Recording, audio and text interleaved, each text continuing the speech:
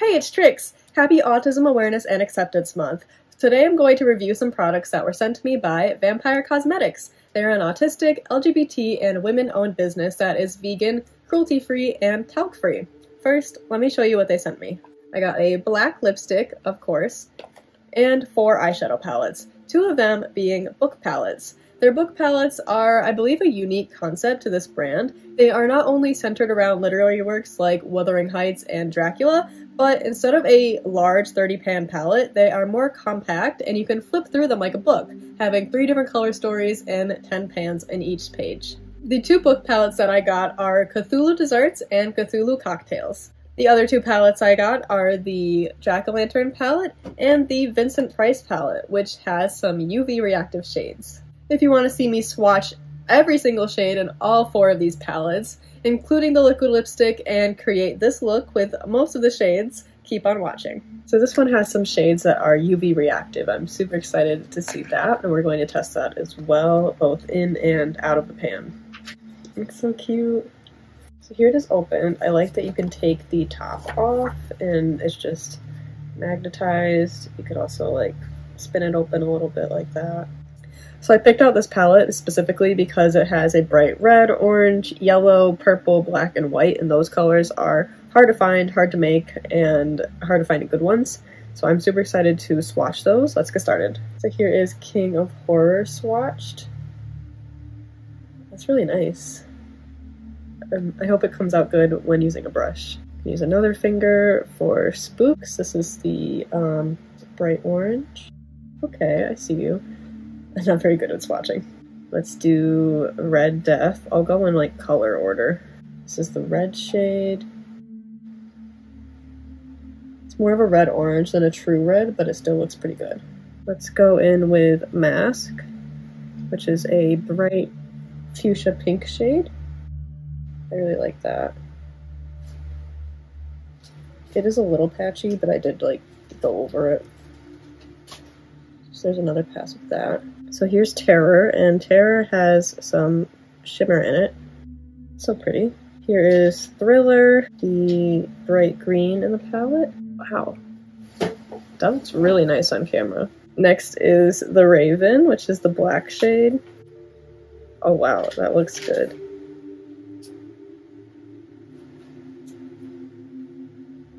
That's pretty nice. And then we have Ghoul, which is the white shade. They all feel really smooth too. They don't feel dry, they kind of feel like butter. So I did go over that a few times, but you can still see it. Nice. So here is that yellow, orange, the red. The red even kind of glows. I love that. The pink. And then this arm we have the purple, green, black, and white. Here's how they look in the pan. Alright, now let's watch the jack-o'-lantern palette. Again, the top comes off, and it has a mirror in this one. That's so cute. Alright, I'm just going to go from left to right. So first up is Casket, which is like a dark wine red. Next up is Haunted, which is a black shade. I'm probably going to butcher the pronunciation, but um, Samain, I think this one's called. It is like a, I think this is a satin, um, kind of like purpley gray dark color. Here is a matte, kind of orangish neutral shade called Cemetery. Now we're going to swatch Monstrous, which is again another satin, I believe, textured shade. It's really pretty. It is a shimmery green. Oh wow, that is stunning. I really love this. This would look gorgeous in like a like a mermaid or a snake kind of makeup look. Then after that we have Candy Apple. I picked this palette out specifically for these dark greens. This one's a little bit patchy. It's kind of drier too to the touch. So I'll build up that swatch a little more. This color palette is really pretty. Alright, next is Trick or Treat.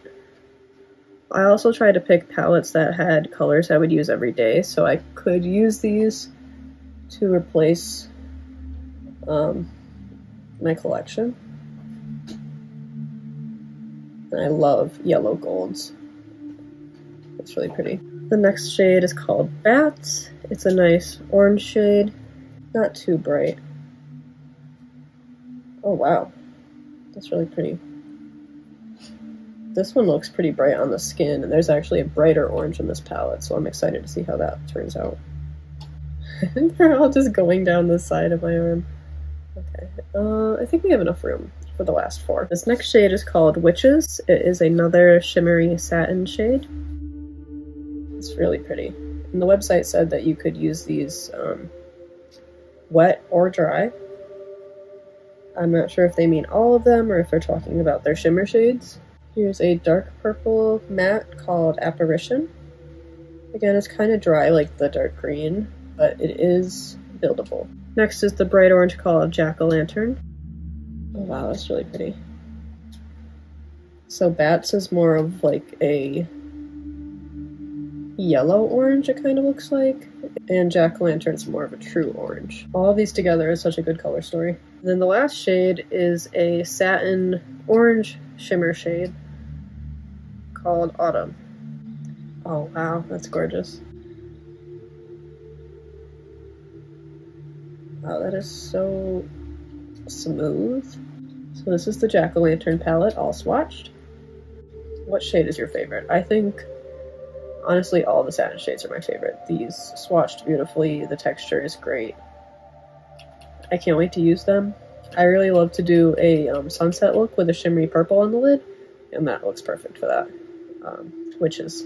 Since the Cthulhu palettes have 30 shades each, I'm not going to go down the line and individually swatch each one on camera. I am just going to swatch them all and then show you guys and then say the names of all of them in the line. So first, let's show you guys the Cthulhu Cocktails palette. Look at how cute that is. And they're pretty compact too. Here is an Anastasia palette for reference to size. They are pretty much the same. Um, this one's just a little bit wider and a tad bit longer. A little thicker as well. Here's the first page. I'm going to swatch them in order um, left to right and up and down. I am super excited to use these. They look so pretty, and if the formula is anything like the satins in the jack-o'-lantern palette, I'm going to be really happy. Here's the second page. These are more like neon colors. Obviously, you can tell that's why I picked this one. And then the third page. Here is the first page, all swatched. These are stunning. So from top to bottom, we have Absinthe, Old Gods, Green Fairy, Enchantress, Bootleg, Underground, 1940s, Gilded, Parisian, and Darkness. I love these. I especially love Enchantress, this bright dark blue, and Green Fairy as well as the 1940s. I think that's a gorgeous gold shade. Here is the second page of the Cthulhu Cocktails palette. From top to bottom, we have Enemy Skulls, Pirate, Macaw, Dirty Sunshine, From Cthulhu, Sands of Time, Satchel, Swamp, Booty, and Trees Talk. I love how bright these shades are. Swamp, this one is a little patchy, and Sands of Time is a little hard to see on my skin tone, but it is a yellowy, peachy kind of nude color. Here is the last page of the Cthulhu Cocktails palette. We have from top to bottom, Blood, Sweat and Tears, To the Stars, I love that one, Champagne, Tentacles, Elder Being, Golden Age, Detrius, I think that's how to pronounce that one. Cthulhu and Sea Urchin. I love Sea Urchin, that last shimmery green at the bottom. And Detritus, I think is actually how you pronounce it. Detritus, this brown shade. Took about three passes with this shade, and it just did not really want to swatch all that well. But I love To the Stars. That one is gorgeous. Alright, my arm is all clean again. Let's move on to the Cthulhu Desserts palette. Here's the first page, the second page, and the third page. Here are the swatches for the first page of the Cthulhu Desserts palette. From top to bottom, we have Frosting, Edible Horror, Pink Tentacle, Party in the Deep, Strawberry Dreams, Gods, Blinded by Love, Rosy Ring, Baked, and Depths. Blinded by Love is the white shade, and it did take a few passes to get it this opaque. As you can see, it's still a little um, translucent, but I assume that I could build it up more. Alright, here is the second page of the Cthulhu Desserts palette swatched. From top to bottom, we have extra chips, blood pudding, necro nom nom, caked, extra filling, starstruck, Cthulhu cutie, tentacles, frosted, and tasty. I love tasty. I can't wait to use that. And frosted.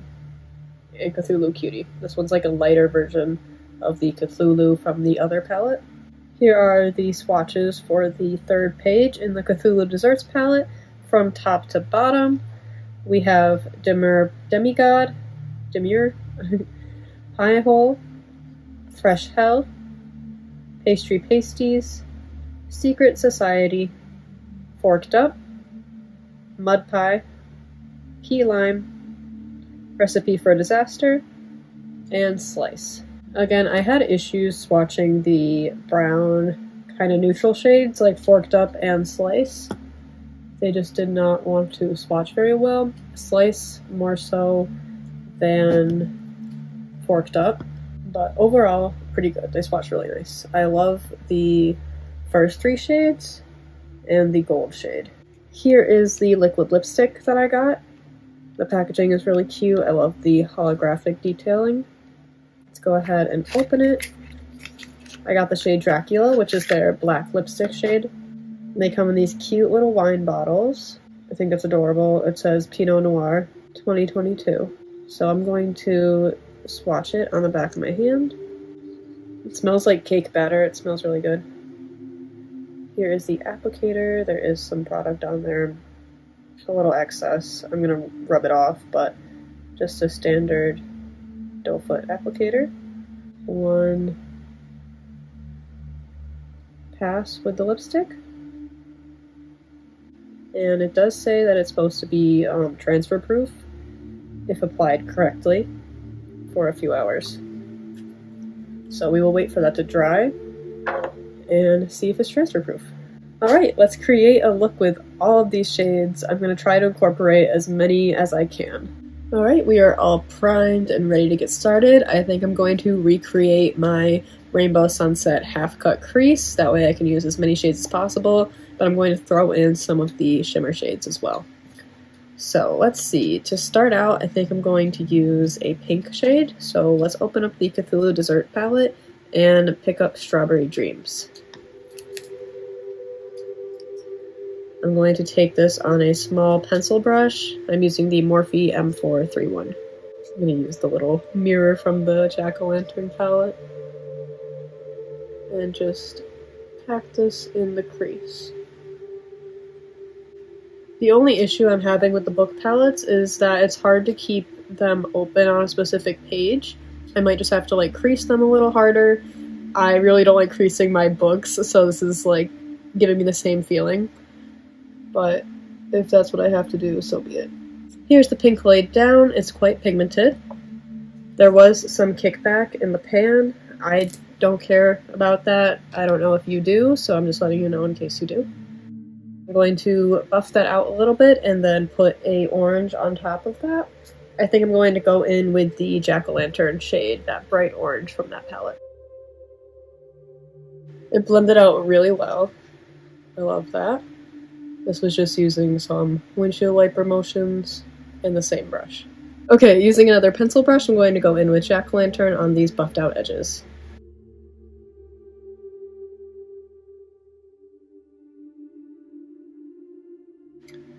That, like, covered the pink shade. That is really pigmented. Okay. Alright, taking a fluffier brush, I'm going to use an M433 by Morphe, and I'm going to buff out these orange edges. This is going to be a very dramatic look, but I'm here for it. Alright, now I'm going to take a yellow shade. Um, I'm going to take the one from the Vincent Price palette. When I was wiping those swatches off my arm, the yellow one kind of stained, which I've never had a yellow eyeshadow stain before. So, it's pigmented. I think just to be safe, I'm going to use another pencil brush for this one as well. That is a beautiful gradient that we've just made.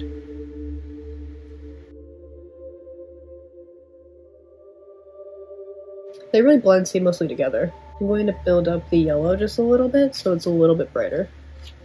And then just on my brow bone going into the yellow a little bit, I'm going to take the white shade Ghoul.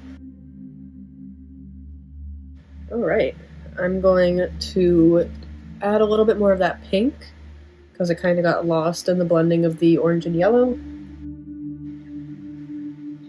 That looks fantastic. Alright, now I'm going to put a dark purple into the crease. I think I'm going to use Apparition from the Jack-O-Lantern palette for this shade. Alright, I'm just taking a tiny little flat brush and grabbing Apparition to put in my crease. Okay, I'm going to go back in with some Strawberry Dreams to blend this out.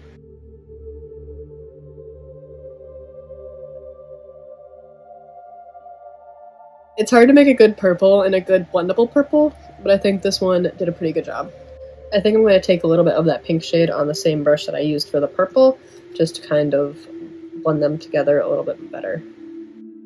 I like this, it's kind of like a grunge sunset. Okay, I'm going to cut the crease with some foundation and a flat brush, and I'll be right back. Alright, the crease is cut. I want to use that dark blue shade Enchantress, so I'm going to use that in the outer corners. It is a um, satin shimmery shade rather than matte, but I don't care. I'm going to take it on the brush that already has the purple on it, just to make it a little easier to blend. And this is from the Cocktails palette. I, oh my god, that's so pretty. I love it. So for the lid, I'm going to use the shimmery satin version of all the colors that we used in the crease. So for the purple, I'm going to go in with Witches from the Jack-O-Lantern palette. Again, on that same brush, just to make it easier to blend. That looks really pretty with Enchantress. I'm going to go in with Tasty from the Cthulhu Desserts palette.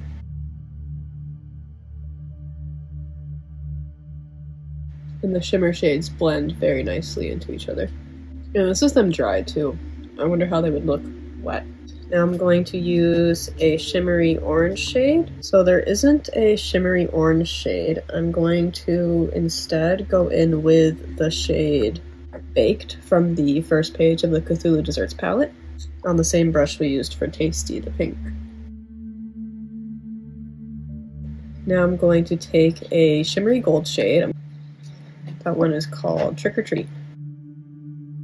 Alright, I'm going to do some eyeliner and then we will start working on the bottom lower lashes. So my brain is not the smartest, and I completely forgot about the shade Autumn, because that one is a shimmery orange, so I'm going to grab that and put that over the baked shade that I used earlier. That looks great. The other one looks good, but this one just ties it all together a little bit better. I am loving this so far.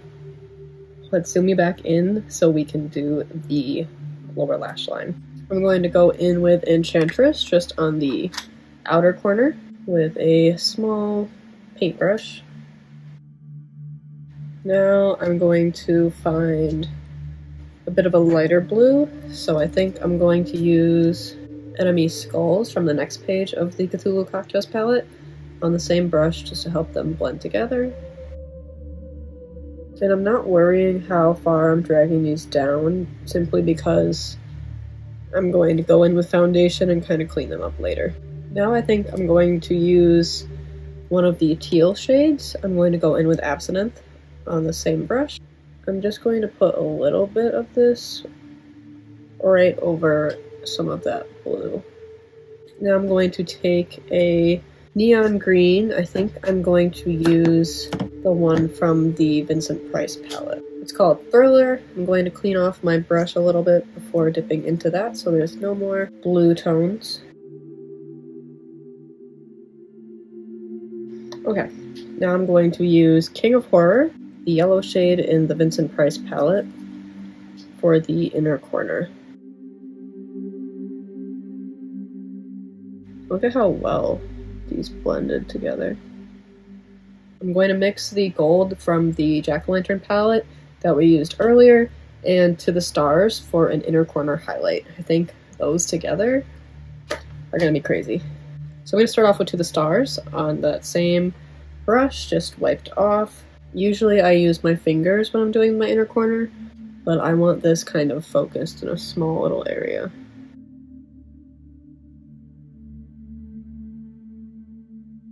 Now let's layer Trick or Treat on top of that. Alright, here's the eye look all complete. Let's try the liquid lipstick. I'm not entirely sure if I'm going to wear it with this look, but I might. Here is what we did on our hand. It is not moving. It does move when you apply some pressure to it, so obviously don't like rub your lips really hard, but it isn't transfer. Oh, that's not the best finger for it. It's not transferring. So that's good. Let's try this on the lips and see how it looks.